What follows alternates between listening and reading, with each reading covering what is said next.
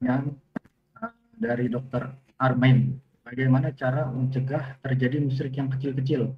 Misalnya, selain berharap pada Allah, sering kali berharap dengan mujarabnya obat. Keberhasilan tindakan medis seperti operasi. Sering muncul keraguan kalau semuanya karena izin. Gimana Ustaz? Masya Allah. Nah, jamaah. Ya, dokter ini seharusnya menjadi pendakwah semuanya. Kenapa? Karena pasien itu pasrah sama dokter. Dia percaya dokter ngomong apa, nyuruh apa, dia percaya. Maka gunakan kesempatan ini, kondisi ini, agar pasien itu mentauhidkan Allah Azza wa Jalla, agar dia menjaga sholatnya. Sampaikan kepada pasien bahwasanya yang menyembuhkan itulah Allah Azza wa Jalla. Tekankan kepada dia. Allah itu Rabbul Alamin. Bagaimana Nabi SAW menanamkan di diri para, para sahabatnya dengan mengatakan, Ma anzalallahu da'an illa anzalalahu syifa. Tidaklah Allah menurunkan penyakit, melainkan Allah turunkan penawarnya, penyembuhnya. Siapa yang menurunkan? Allah Azza wa Jalla.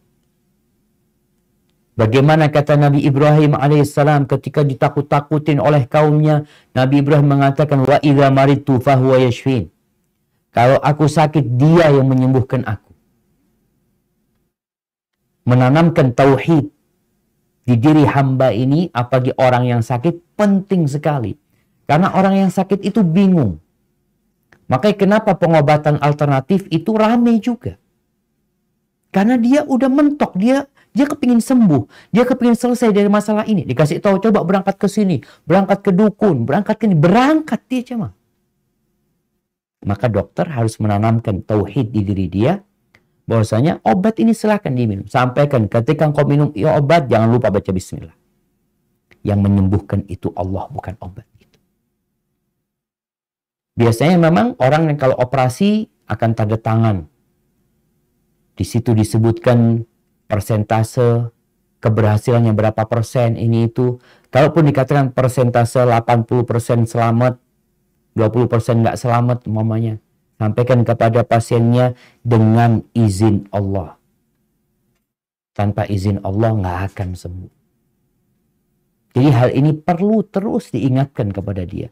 Oleh karena itu, ya Ana mengajak semua dokter ketika dia kunjungan ke pasien, sekali lagi Niatkan kunjungan itu bukan hanya kunjungan kerja, tapi kunjungan saudara. Ziarah atau iadah dalam bahasa Arabnya kalau mengunjungi orang sakit. Bagaimana ketika seorang itu mengunjungi orang yang sakit di pagi hari? Nabi alaihissalatu menjelaskan ada 70 ribu malaikat yang bersalawat mendoakan dia sampai sore hari. Ketika membesuknya di sore hari ada 70 ribu malaikat yang mendoakan dia sampai pagi hari manfaatkan hal ini. Sehingga kehadiran dia di sana, dia dokter profesional sebagai seorang dokter, tapi dia juga sebagai saudara sesama muslim yang mengingatkan saudaranya ini untuk terus bertakwa kepada Allah Azza wa Jal. Sehingga pasiennya itu tidak terjebak kepada sebab, tapi dia senantiasa mengingat yang menciptakan sebab itu. Ada wallahu a'lam.